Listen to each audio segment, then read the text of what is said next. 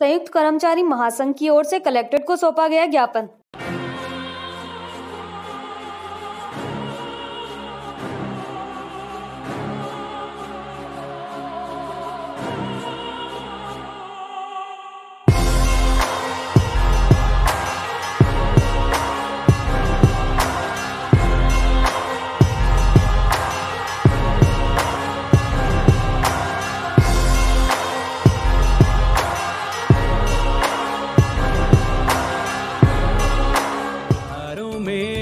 खुशियाँ मनाएँगे अपने घर नई होंडा लाएँगे।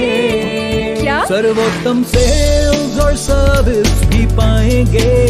तीस साल का भरोसा जो अपनाएँगे। अजमेर ऑटो ले आए हैं अजमेर होंडा जहाँ है होंडा टू व्हीलर्स की कंप्लीट रेंज और साथ में वही विश्वास वही भरोसा जिसे आप जानते और पहचानते हैं तीस सालों से। अपने घर नई होंडा लाएँगे। संयुक्त कर्मचारी महासंघ के तत्वावधान में आज कलेक्ट्रेट पर कर्मचारी पहुँचे और प्रदर्शन करते हुए जिला कलेक्टर को ज्ञापन सौंपा।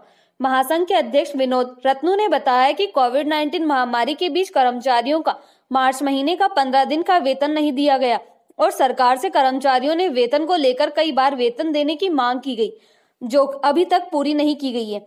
वहीं इसके साथ ही आज कलेक्ट्रेट पर सभी कर्मचारी पहुँचे और कलेक्ट्रेट पर प्रदर्शन कर जिला कलेक्टर को ज्ञापन सौंपा। और उनसे मांग की गई कि उन्हें दीपावली का बोनस नगद दिया जाए और जो मार्च महीने का पंद्रह दिन का वेतन नहीं दिया गया है, उसे जल्द दिया जाए, जिससे कि कर्मचारियों को राहत मिल सके।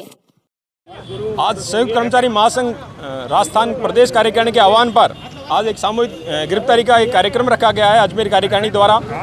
हमारी मांग थी सरकार से कि कोविड 19 के तहत मार्च महीने का आधे महीने का हमारा वेतन काटा गया था। सरकार से बार बार मांग करने के बावजूद भी राजस्थान सरकार के द्वारा हमारे मार्च महीने का वेतन जो स्थगित किया था, अभी तक रिलीज़ नहीं किया गया है। उसके बाद जो वेतन कटौती की मांग को लेकर था कि हर महीने जो वो सरकार ने तो स्वैच्छिक करते हुए कहा कि हम नहीं करेंगे। उसके बावजूद जो दीपावली का बोनस था, उसको 25 परसेंट नकद और 75 परसेंट कहा कि अब जीपीएफ में जमा करेंगे। तो सरकार मतलब एक उंगली काटती है, उसके ऊपर पट्टी लगाती है, हाथों हाथ दूसरी उंगली पे कट लगा देती है। तो हम सरकार से मांग करते हैं कि हमारे दीपावली का बोनस पूर्ण नकद भुगतान किया जाए। मार्च महीने का जो वेतन स्थगित किया है, उसको तुरंत प्रभाव से रिलीज़ करते हुए कर्मचारियों को राहत पहुँचावे, नहीं तो उग्र आंदोलन किया जाएगा, जिसकी समस्त ज़िम्मेदारी राजस्थान सरकार की होगी। विनोद रत्नू, कर्मचारी महासंघ अध्यक्ष।